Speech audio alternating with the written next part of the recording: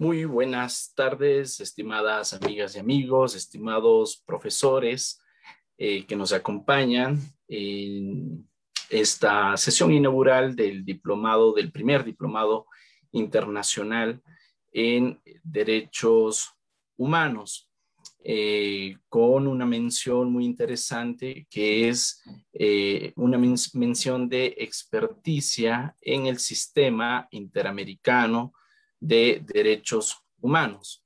Em, quiero extenderles el cordial saludo de bienvenida a todos y todas ustedes a efectos de precisamente eh, adentrarnos en un acto formal de bienvenida hacia los profesores, en primer lugar, quienes generosamente han aceptado acompañarnos a lo largo de estas sesiones. Voy a pedirles a nuestros maestros, por favor, que activen sus, sus cámaras para que pudieran vernos también los cursantes. Eh, por aquí están conectados el doctor Oscar Barrientos de Bolivia, el doctor Gonzalo Uscamaita, también de Bolivia, Eliana Roca, Luis Inarra, también de Bolivia, los profesores.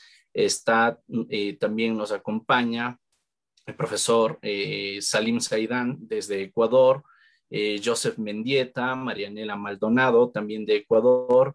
Eh, entre otros profesores está también el profesor Edgar Hernández desde México. Muchísimas gracias, profesores, por acompañarnos en esta sesión y bueno, poco a poco se irán sumando eh, los profesores. asimismo, bueno, em, decirles a todos los cursantes que este se trata del primer diplomado en derechos humanos que lanzamos directamente desde Latin Juris, queremos eh, agradecer la gentileza de la Universidad de Guanajuato, cuyo eh, director del Departamento de Derecho es el doctor Eduardo Strain. Como ustedes observarán, aquí en sus pantallas está el afiche que hemos eh, compartido a nivel latinoamericano sobre eh, la información generalizada de este diplomado y que a continuación procederé a, dar eh, ciertos detalles. Pero no quiero dejar de agradecer eh, y darles la bienvenida a los profesores Eduardo Strain de México, Pamela Molina de Chile, Raúl Núñez de Colombia, Jimena Rodríguez de Perú, Federico Bascheto de Argentina, Pamela Aguirre de Ecuador, Oscar Barrientos de Bolivia, Lisbeth Padilla de México, Eduardo Yugdar de Argentina, María Elena Atard de Bolivia, Teodoro Verdugo de Ecuador, Sougan Gesamsa de, de, Ecuador, Alex Valle de Ecuador, Natalia Chacón de Colombia, Luis Chinchilla de Honduras, Alan Vargas de Bolivia, Marcelo Guerra de Ecuador, Gonzalo Ramírez Cleves de Colombia, Sandra Cordero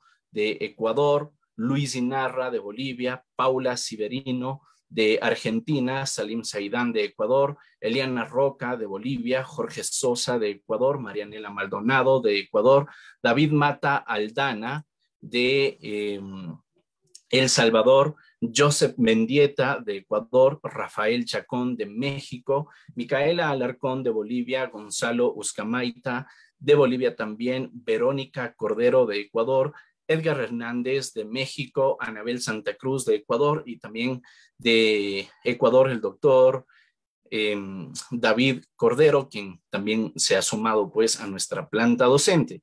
Em, ustedes Observarán que se trata de un equipo internacional de expertos en la materia. Para nosotros es motivo de muchísimo honor, satisfacción saber que tenemos un equipo muy amplio, muy profesional de docentes, muchos de ellos con vasta experiencia en el ámbito de la protección de los derechos humanos.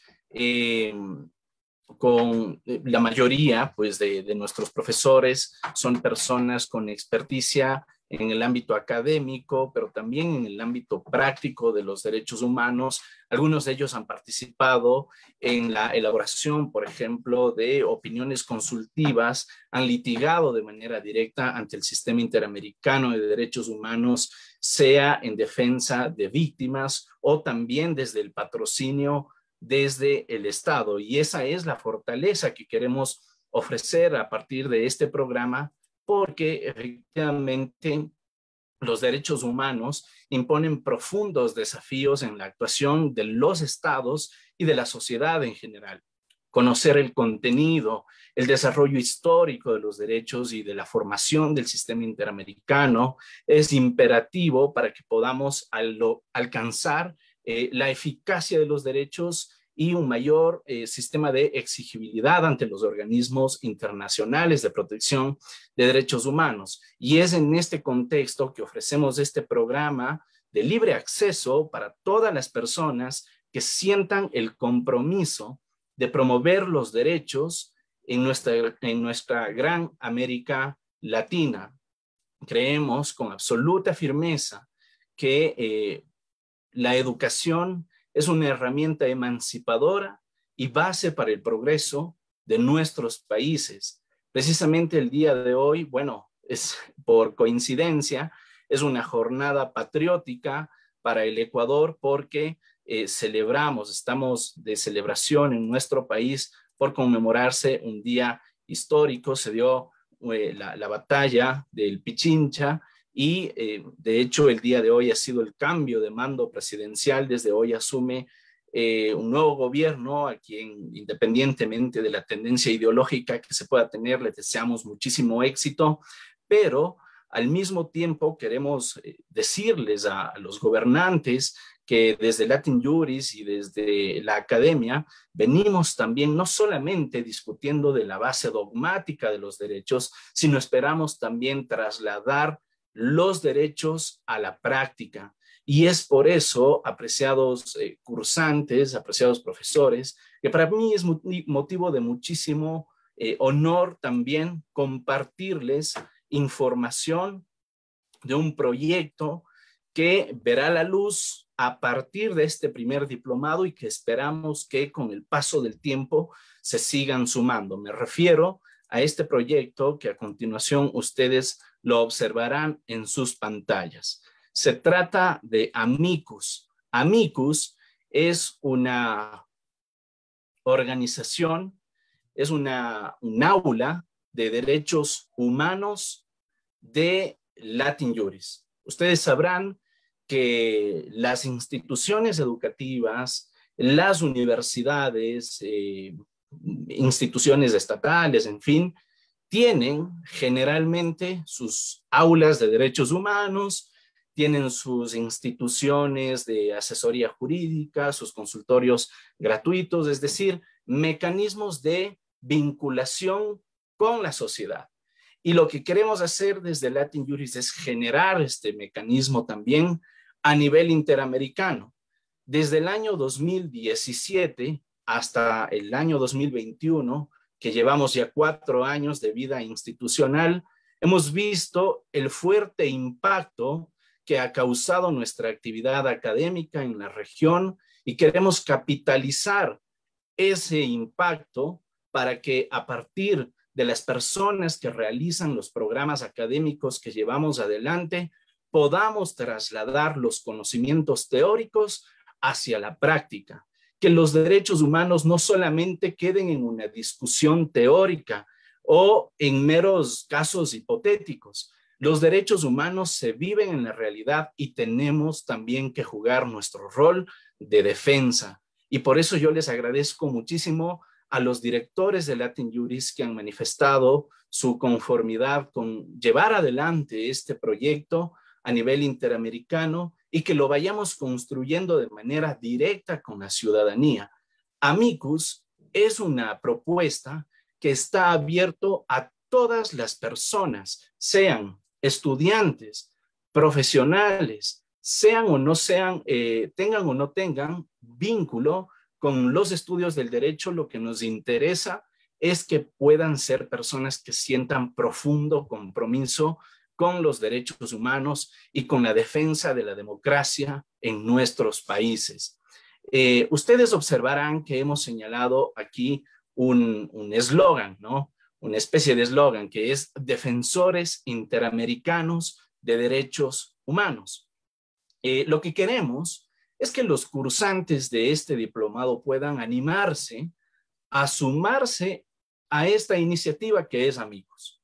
¿Para qué? Para que en cada uno de sus países puedan ustedes conocer casos, eh, vincularse con los procesos, porque vamos a generar un canal de denuncias para que podamos desde Amicus asesorar, patrocinar, orientar y colaborar a nivel internacional con las causas que tengan relación con la defensa de los derechos humanos.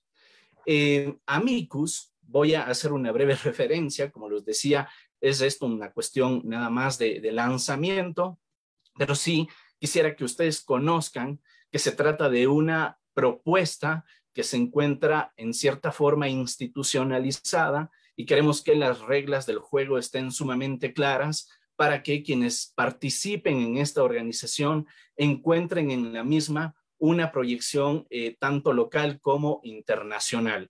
Amicus tendrá un secretario ejecutivo que durará tres años en el cargo y tendrá también coordinadores nacionales. Y dentro de cada coordinación nacional habrán cuatro comisiones. En principio habrán cuatro comisiones. La primera comisión es una comisión nacional de prensa, es decir, eh, pretendemos vincular estudiantes y profesionales del derecho que nos permitan difundir la actividad de Amicus a nivel regional, que esto pueda replicarse, que pueda escucharse, que si existe una campaña en el Argentina por la defensa de los derechos de una persona, esto pueda replicarse al mismo tiempo en Bolivia, Brasil, Colombia, etcétera, en todos los países latinoamericanos. Luego tenemos también una comisión nacional de investigación.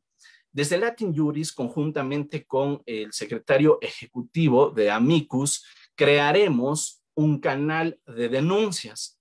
Este canal de denuncias permitirá a la sociedad civil en general que pueda darnos a conocer las causas que se están, perdón, que se están, eh, sus casos específicos, ¿no? Sus casos de violaciones eh, a los derechos humanos, de tal manera que esta, esta comisión de investigación de manera conjunta con la comisión de asesoría determinen si es que estamos o no frente a un caso de violación de derechos humanos y si es que esto es así, si es que así lo determina la Comisión Nacional de Asesoría, entonces inmediatamente el caso pasa a una fase de investigación eh, en la cual participa eh, las personas que integran la Comisión Nacional de Investigación, integrada por estudiantes de derecho, por profesionales, por gente que tenga experticias en otras materias que nos puedan servir, por ejemplo, para temas periciales, en fin, de tal manera que tras la investigación correspondiente, nuevamente, eh, con el apoyo de la Comisión Nacional de Asesoría, el caso pase a la Comisión Nacional Internacional de Patrocinio.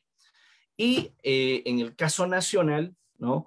Eh, se pueda presentar al interior de cada uno de nuestros países las acciones legales pertinentes para la defensa de los derechos humanos. Recordarán ustedes que el artículo 25 de la Convención Americana establece la obligación que tienen los estados de fijar garantías adecuadas para la tutela de los derechos fundamentales. Y en ese contexto, digamos que, por, poner un supuesto, en el caso ecuatoriano se presenta una acción de protección, esa acción de protección eh, necesariamente deberá de seguir las, vías o los mecanismos de impugnación para que eventualmente pueda llegar ante el sistema interamericano de derechos humanos. Pero ¿por qué es una comisión nacional internacional de patrocinio? Porque las causas de los derechos humanos son causas de interés común para la región.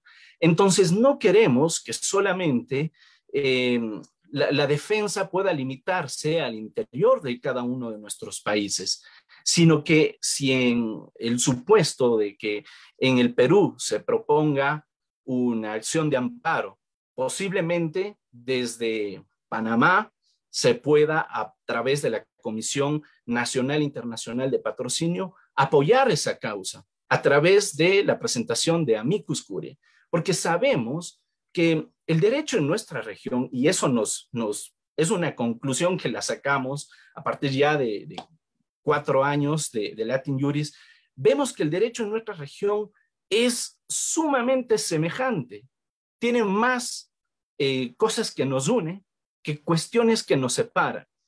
Y las causas que se sustancian ante la administración de justicia, generalmente la justicia constitucional, eh, son causas que van generando jurisprudencia.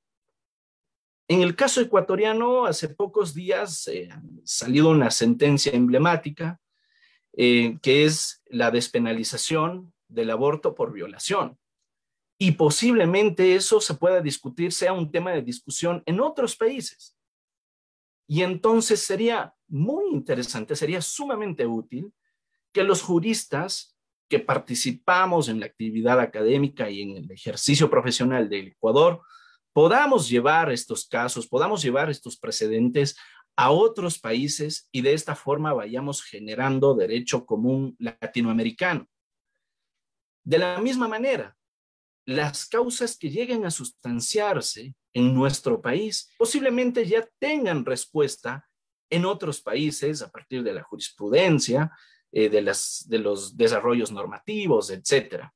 Entonces, bien puede servir la participación de los colegas latinoamericanos para que a nivel nacional eh, puedan recibirse esos argumentos por parte de las Cortes de Justicia y de esta forma eh, podamos seguir construyendo el derecho a nivel regional. Entonces, aquí están eh, las atribuciones, la Comisión Nacional de Asesoría recibe denuncias y determina la procedencia de los casos, porque eventualmente pues no quisiéramos confundir el tema de derechos humanos con otras cuestiones, no sé, una reclamación de una letra de cambio o cosas parecidas, ¿no?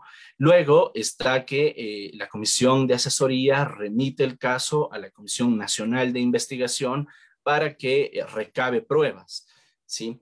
A su vez, decía que en cada uno de los países vamos a tener coordinaciones nacionales. Los coordinadores nacionales van a ser personas designadas por el director, eh, perdón, por el secretario ejecutivo. Eh, va a mantener entrevistas y eh, designar conjuntamente con el secretario ejecutivo de Amicus a los responsables de las comisiones nacionales, va a realizar las coordinaciones entre estas comisiones, y asimismo coordinar las comunicaciones con el secretario ejecutivo. A su vez, la comisión de investigación va a requerir información de los casos, va a recabar pruebas y va a remitir informes a la Comisión Nacional de Asesoría. La Comisión Nacional de Asesoría, cuando recibe los, los, los informes con las pruebas de los casos, determina la procedencia del inicio de acciones eh, legales y remite a la Comisión Nacional e Internacional de Patrocinio para que se puedan eh, plantear las acciones correspondientes. Eh, a su vez, la Comisión de Patrocinio presenta acciones con el respaldo de otras comisiones nacionales e internacionales.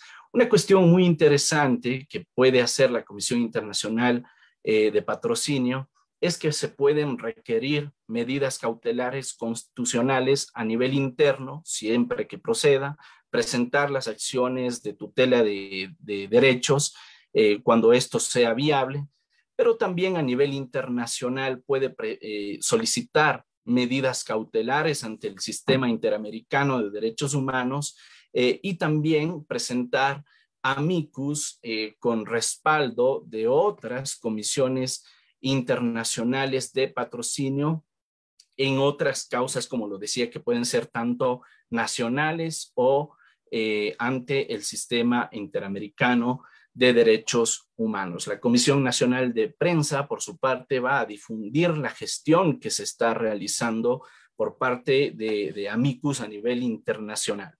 Eh, y a su vez, decía, vamos a tener un secretario ejecutivo que es un secretario que va a ser designado por los directores de Latin Juris, como lo decía, la propuesta de Amicus es que sea una especie de aula de derechos humanos de Latin Juris y de ahí la relevancia que sean los directores de la institución quienes puedan hacer la propuesta del secretario ejecutivo.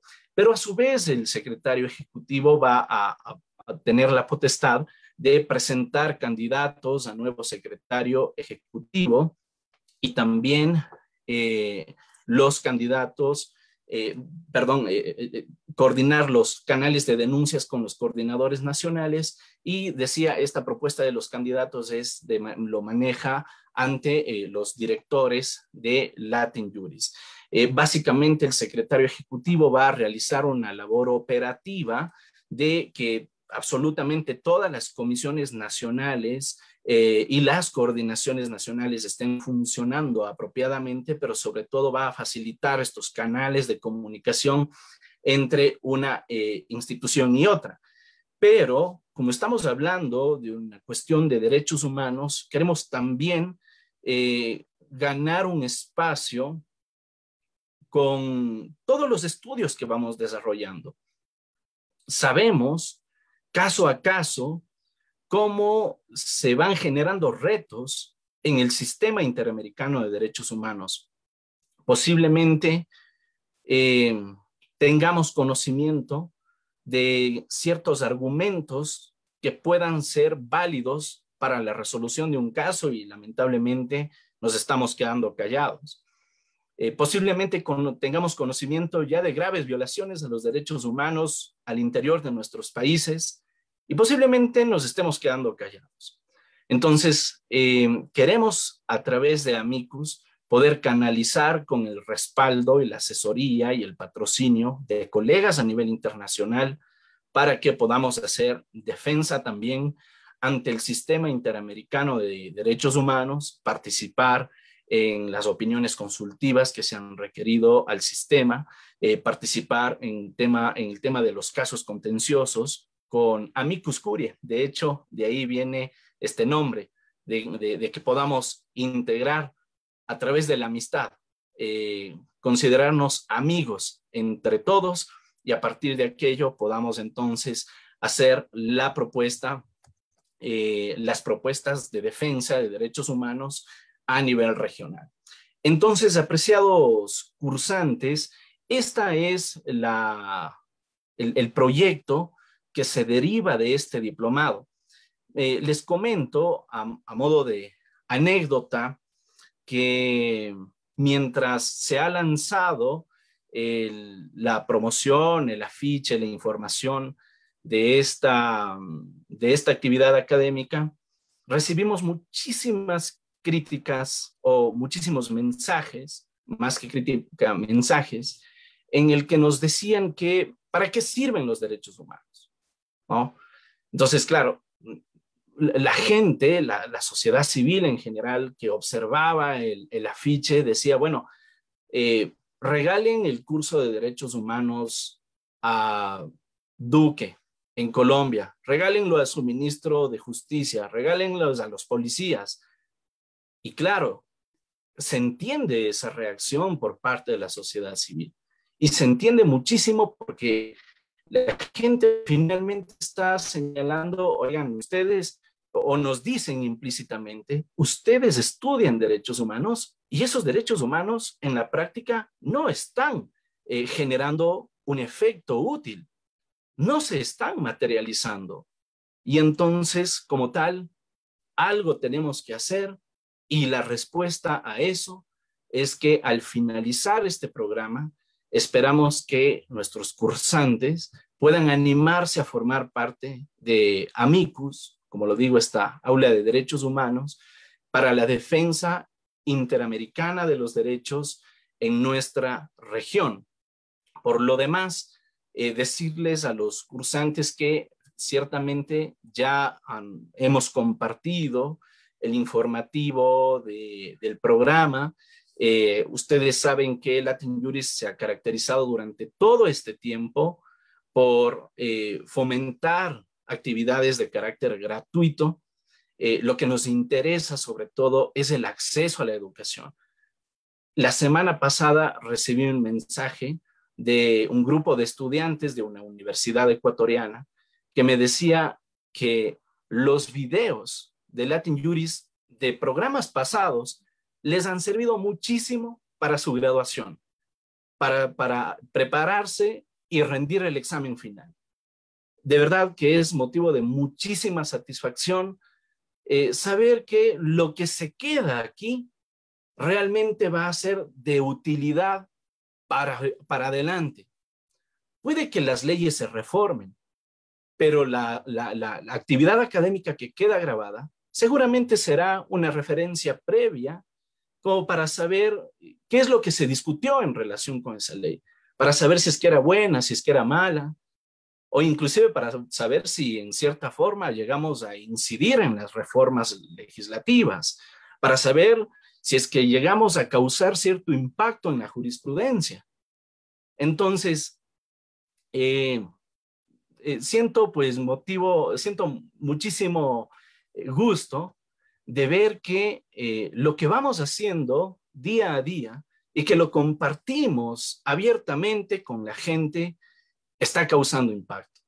Y por eso, una vez más, agradezco a todos nuestros profesores, que son personas que, pues dejando eh, sus importantísimas labores que de, plano realizan con las instituciones educativas en las que trabajan o, en las instituciones en las que asesoran o, los, o su propio ejercicio en el patrocinio profesional, vienen y nos comparten sus conocimientos. Sepan ustedes, queridos profesores, que esto está causando muchísimo impacto, que esto de liberar la educación, de hacer que la educación no sea una cuestión eh, comercial, realmente eh, ayuda y ayuda muchísimo a personas que por sus condiciones generalmente económicas, eh, pues no pueden costear programas de, calidad. Y quiero finalmente destacar un asunto adicional y es la participación paritaria de nuestros profesores en el programa académico. Una de, aparentemente, no tiene mucha relevancia, entre comillas, la participación de las mujeres y eso es algo que es una idea que debemos de descartarla de plano. He visto muchísimos carteles en donde la participación es eh, mayoritariamente de varones. Y debemos de hacer todo lo que esté a nuestro alcance para dejar ver que mujeres y hombres tenemos la misma capacidad. Yo diría, inclusive en muchas cosas, las mujeres nos, eh, pues nos han superado ya. Y desde luego tenemos muchísimo que aprender desde sus propias perspectivas en la academia. Y por eso ustedes observarán, amigos y amigas que siguen esta conferencia inaugural, que hay casi, casi que el 50-50 entre mujeres y hombres en nuestro cartel. Sabemos que ah, aprenderemos muchísimo de eh, profesoras y profesores que participan en esta sesión, pero quiero decirles sobre todo que eh, si es que podemos ir generando esas bases, podemos ir sentando estos precedentes de paridad en la participación también en la academia, pues entonces también habremos cumplido otro de sus grandes propósitos en el ámbito también de los derechos humanos. Eh, pues no me queda más, eh, apreciados amigos, que agradecerles y desde luego eh, me, gustaría también ceder la palabra a los profesores que nos acompañan en esta sesión, eh, pues quien quiera tomar la palabra en este acto inaugural para poderles anticipar en cierta forma a nuestros cursantes qué es lo que ellos obtendrán de este evento académico, pues bienvenidos. Profesores, les cedo la palabra.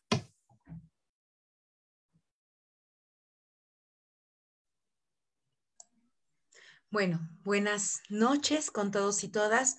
Uh, ante todo, este, quería agradecer a Latin Juris y en especial al doctor Damián Armijos por la gentil invitación a ser parte del staff de docentes que dictarán en este primer Seminario Internacional sobre Derechos Humanos. Yo, de manera muy breve, eh, doctores y doctoras, mi nombre es Jimena Rodríguez, los, los saludo muy calurosamente desde la ciudad de Arequipa, en Perú, y esperamos, y creo no ser la única, que al final del, del curso nosotros podamos entender mucho más a fondo en qué consiste el sistema interamericano, cuál es el procedimiento que se tiene que seguir si es que nosotros queremos plantear en un primer momento una petición y posteriormente, si pasa a la Corte, ya un caso propiamente dicho, y cómo se da el seguimiento a estas, a estas sentencias que emite nuestra Corte Interamericana. Sí, y para ello debemos partir un poquito de la historia del sistema interamericano, cómo se va creando el sistema. Y eh, gracias a la a la amabilidad de los organizadores, tanto Latin Juris como la Universidad de Guanajuato, yo podré estarles acompañando este miércoles a partir de las 18 eh, horas, en donde intercambiaremos algunas ideas sobre cómo fue la creación del sistema interamericano. Una vez más, bienvenidos y bienvenidas a todos los cursantes y desde ya nosotros, los docentes, estamos muy contentos y muy emocionados de poder compartir con todos ustedes estas ideas, estos conceptos, ¿para qué no? Para abrir también un debate jurídico en torno a los derechos humanos. Doctor Armijos, mis queridos colegas, muchísimas gracias. Muchísimas gracias, estimada profesora Rodríguez, quien nos ha saludado desde el Perú. Si, algún profesor quisiera también sumarse a un saludo en este acto de inauguración, pues bienvenidos. Muchísimas gracias eh, por la organización, por invitarnos a esta inauguración. Estimado doctor Armijos, un saludo a todos los colegas. Yo soy Luis Gonzalo Inarra Ceballos, profesor de la Universidad Mayor de San Simón en la ciudad de Cochabamba, Bolivia, miembro de Latin Juris igual. Les mando un fuerte abrazo. Yo voy a estar compartiendo con todos los participantes del primer diplomado eh, sobre los temas relacionados a los derechos políticos. Vamos a hablar sobre aspectos históricos, también principalmente sobre eh, aspectos jurisprudenciales, que se va a ser el fondo más importante respecto a los derechos políticos, desde lo que ha sido su construcción en el sistema universal y en la Corte Interamericana. Entonces, eh, respecto a estos derechos que son tan importantes y tan importantes también en democracia, tan importantes igual para la construcción de un Estado constitucional de derecho, bueno, ha sido es un placer para mí y muchísimas gracias. Nos vemos el día de mi exposición. Excelente, gracias, estimado Luis, por, por tus palabras. Nos veremos entonces el día de tu ponencia. Me sumo, puedo. Bueno, un gusto, un gusto saludarlos a todos y todas. Eh, la verdad que mientras te escuchaba, Damián, me, me doy cuenta que en serio nos hemos encontrado desde hace muchos años trabajando en este espacio tuyo eh, que de alguna manera todos hemos intentado apropiarnos también, ¿no? Participando en ese, espíritu de, darle a quienes más lo necesitan esa experiencia que nos ha tocado eh, acumular en nuestras distintas aventuras jurídicas. Y la verdad que me llena de alegría una vez más ser convocado, eh, como siempre, a acompañar este espacio construido sobre justamente la trayectoria de todos estos distinguidos personajes eh, en distintas disciplinas, lo cual también enriquece mucho la experiencia de quien vaya a animarse, ¿no? a, recorrer este diplomado. Lo veo a Gonzalo, a Oscar, a vos, Damián, este, veo ahí también a Eduardo, a Jimena, y, la verdad que me, da muchísima alegría sentirme apoyado también eh, en esta causa que es de todos. ¿no? Entonces, a mí particularmente me tocará cerrar este diplomado. Eh, los últimos tres encuentros eh, es una gran responsabilidad que todos los docentes de este curso tenemos, eh, justamente tratando de llevarles a todos los eh, rincones del continente eso que va a quedar para siempre, ¿no? Me encantó mucho lo que propusiste, Damián, de que, ese conocimiento en serio queda a perpetuidad consolidado en, las redes y es algo que alcanza a un número, la verdad, impensado, porque podríamos intentar aventurarnos un número, pero sería siempre muy pequeño. Así que de verdad eh, creo que, los, que las personas que vayan a, animarse a recorrer este diplomado se convertirán finalmente luego de todos estos encuentros en, defensores y defensoras de derechos humanos y bien, eh, bien harían al hacerlo. Eh, esta región de verdad los necesita a todos y todas. Así que una vez más, un fuerte abrazo, mis distinguidos colegas, y anímense a todos a compartir la actividad y obviamente a sumarse. De nuestra parte, como docentes, van a tener nuestra entrega absoluta. Muchas gracias. Eh, buenas tardes, eh, yo también eh, quiero aportar un poco. Yo soy Eliana Roca, vengo desde Bolivia. Bueno, y como a mí me parece muy importante este curso, ¿no? Porque este diplomado, porque está enfocado en los derechos humanos y es un enfoque integral. No solamente se va a describir lo que es la convención los derechos ¿no? Eh, en general que están estipulados, sino que ingresa al, trámite del sistema interamericano.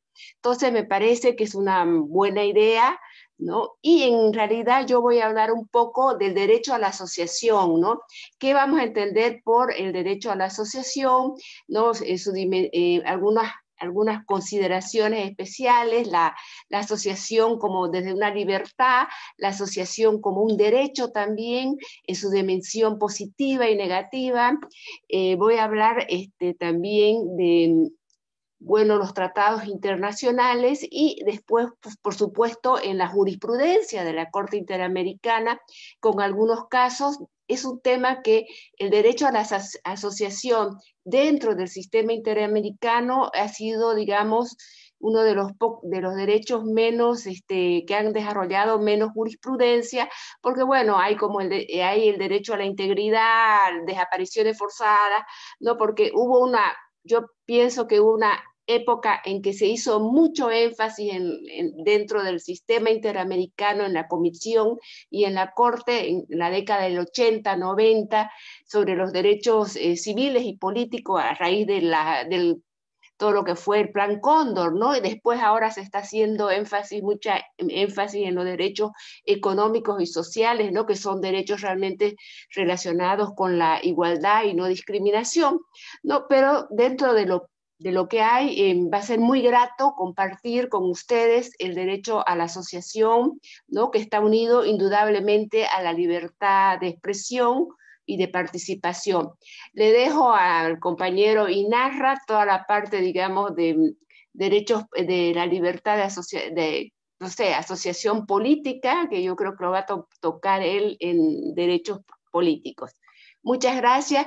Y por último, me parece muy bueno el, eh, tu plan, eh, que presentó eh, Damián. Me parece que todo, todos debemos trabajar en esa perspectiva, ¿no? porque realmente los derechos humanos se deben cumplir y no deben quedar en letra muerta. muchas gracias. Muchísimas gracias, profesora Eliana, por sus palabras. Eh, sí, la verdad, eh, un poco retomando las palabras de, Federico y, de Eliana que hablaron al final, eh, decirles que estos espacios, si bien los construimos, son nada más una iniciativa, son una iniciativa para, para el mundo.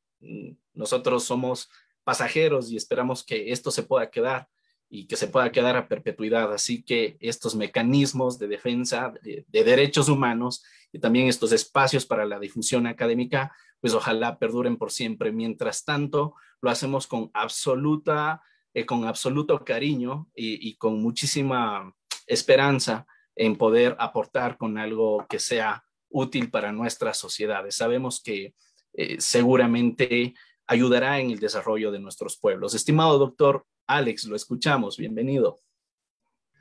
Muy buenas tardes con todos, con todas. Mi nombre es Alex Iván Vallefranco. Yo soy docente titular del Instituto de Altos Estudios Nacionales del Ecuador y de la Pontificia Universidad Católica. En primer lugar, quiero agradecer al doctor Damián Armijos, a Latin Juris. Eh, en segundo lugar, quiero saludar también a algunos amigos que veo por acá, Gonzalo, el doctor Yulgar, que también estaba aquí, que hemos tenido la oportunidad de encontrarnos también en el Ecuador. Muy contento de ver a un, a un joven talento, yo siempre lo, lo, he dicho y desde acá, desde Ecuador, me, me gusta apoyar, digamos, a toda esta nueva generación que está trabajando con más ímpetu en materia de derechos humanos. Realmente el trabajo que ha hecho Damián es muy encomiable. Mi apoyo desde ya y para, para siempre y con este muy bonito proyecto de este diplomado. Yo les voy a hablar sobre el tema del derecho a la residencia y al derecho a la circulación. Yo trabajo bastante en temas de migración. Mi doctorado en Alemania, en la Universidad de Bremen, fue justamente de la ciudadanía universal. Y pues estoy hace cuatro años en el Ecuador. Tengo varias publicaciones, trabajo desde la sociología jurídica también, me gradué en Flaxo. Entonces, eh, mi análisis tendrá justamente un análisis sociológico, pero también iré al sistema interamericano a revisar varias de las sentencias que tenemos y también cuatro elementos de la Corte Constitucional actual sobre el derecho a la residencia, el derecho a migrar que tenemos estipulado en el artículo 40 de nuestra Constitución un derecho muy vigente, especialmente ahora en la época de COVID-19, donde justamente ha habido mayor precarización laboral, mayor exclusión. Nuevamente agradecido con usted, Damián, y compañeros, eh, un gusto conocerles a todas y a todos. Una buena tarde. Encantado, profesor. Muchísimas gracias a usted. Eh, bien, y en general a las personas que están siguiendo esta transmisión, precisamente quiero darles a conocer el cronograma de exposiciones de este evento. Algunos de nuestros profesores ya han hecho referencia a algunos de los temas, pero irá de la siguiente manera. Iniciamos, recuerden, el día miércoles. Hoy pues invitamos nada más a que nos acompañen en Zoom a nuestros profesores, pero ya desde el miércoles estarán eh, estudiantes y los respectivos expositores. Eh, iniciaremos con la historia del Sistema Interamericano de Derechos Humanos que estará a cargo de la doctora Jimena Moscoso del Perú. Luego, el deber estatal de respetar los derechos humanos de la doctora Alejandra Cárdenas de Ecuador. Eh, y finalmente, el deber de adoptar disposiciones de derecho interno que nos acompañará la profesora Pamela Aguirre, también de Ecuador. El día jueves 27 de mayo trataremos el derecho a la integridad personal, por eh, el expositor será el profesor Salim Saidán, eh, también el derecho a la vida, el profesor David Cordero, ambos de Ecuador, y finalmente el derecho al reconocimiento de la personalidad jurídica a cargo del profesor Gonzalo Ramírez Cleves de Colombia.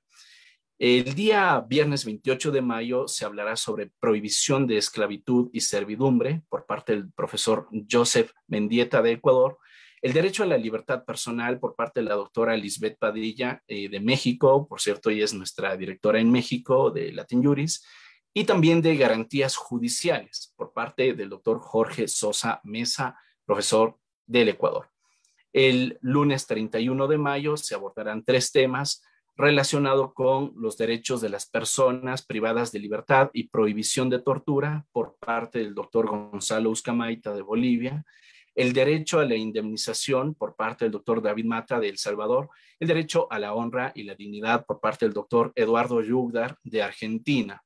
El día martes 1 de junio, sobre libertad de conciencia y religión, de la doctora Natalia Chacón, eh, quien expondrá desde Colombia. También se hablará sobre libertad de pensamiento y de expresión por la profesora Sougan Gesamsa de Ecuador y el derecho de rectificación o respuesta por parte de la doctora Micaela Alarcón de Bolivia. Miércoles 2 de junio, sobre derecho de reunión, el profesor Oscar Barrientos, eh, sobre libertad de asociación, la profesora Eliana Roca, ambos de Bolivia, y finalmente sobre protección a la familia, que hablará la profesora Marianela Maldonado desde Ecuador. El jueves 3 de junio se hablará sobre el derecho al nombre por parte de la doctora Verónica Cordero y derechos del niño por parte de la doctora Sandra Cordero, ambas de Ecuador. Eh, y también sobre el derecho a la nacionalidad por parte de la doctora María Elena Atar de Bolivia. El viernes 4 de junio sobre el derecho a la propiedad privada por parte del doctor Teodoro Verdugo, el derecho de circulación y residencia por parte del doctor Alex Valle eh, ambos de Ecuador, y finalmente sobre derechos políticos por parte del doctor Luis Inarra de Bolivia. El lunes 7 de junio sobre igualdad, pero este tiene un enfoque especial y es la igualdad en la diversidad a partir del eh, impacto de la opinión consultiva 2417, eh, tema que será abordado por parte de la doctora Paula Siberino de Argentina. Se hablará también de protección judicial por parte del profesor Luis Chinchilla de Honduras y sobre derechos de personas con discapacidad por parte de Pamela Molina de Chile. El martes 8 de junio hablaremos sobre suspensión de garantías, eh, tema que expondrá la doctora Anabel Santa Cruz de Ecuador, sobre control de convencionalidad y su recepción en sede nacional por parte del profesor Eduardo Strain y el desarrollo progresivo de los derechos económicos, sociales y culturales por parte del doctor Edgar Hernández, eh, quien dicho sea de paso, conjuntamente con el profesor Astrain, son de México. El miércoles 9 de junio sobre opiniones consultivas, naturaleza y procedimiento por parte del profesor Marcelo Guerra de Ecuador, femicidio y derechos de la mujer a cargo del doctor Rafael Chacón de México y derechos de los pueblos indígenas y en aislamiento voluntario por parte del profesor Alan Vargas de Bolivia. Eh, los días jueves, viernes, 10 y 11 de junio y también los días lunes 14 y martes 15 de junio, en general habrá un abordaje sobre la Comisión Interamericana de Derechos Humanos, su organización, funciones, competencia y procedimiento, a cargo del profesor Raúl Núñez de Colombia. Y finalmente cerraremos el programa los días 16, 17 y 18 de junio hablando de la Corte Interamericana de Derechos, cómo se organiza, cuál es su competencia y funciones y procedimiento. Ustedes notarán que todo este programa tiene como hora referencial las 6 de la tarde, termina a las 8 de la noche en horario de Ecuador. Así que, estimadas amigas y amigos, pues los esperamos. Será un honor contar con su participación. El día miércoles arrancamos este gran diplomado pero sobre todo queremos animarlos a que se sumen a esta iniciativa de amigos. No nos quedemos nada más con los estudios, llevémoslo a la práctica y defendamos los derechos humanos en la región. Muchísimas gracias a todas y todos. Muy buenas noches. Que tengan todos ustedes un feliz descanso. Nos veremos el día miércoles. Hasta pronto.